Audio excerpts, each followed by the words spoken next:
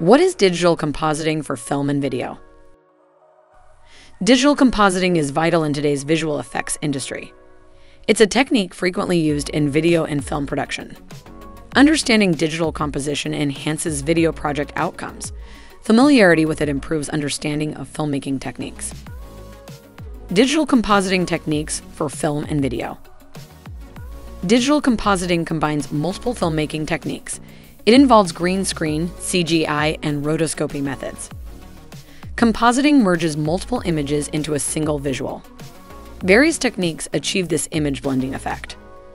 Many techniques create merged imagery in video. These techniques include CGI, matting, and multiple exposure.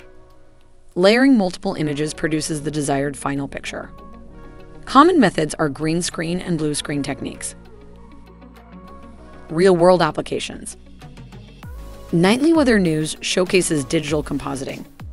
Forecasts use green or blue screens for layered effects. Newscasters film against green screen backgrounds. City and weather visuals replace these backgrounds via compositing. Digital compositing diversifies film and video visuals. Through it, filmmakers achieve visually complex cinematic scenes. The possibilities with VFX and compositing are vast. There are reasons behind unique and diverse cinematic experiences. For more great industry info, like and subscribe to Beverly Boy Productions today.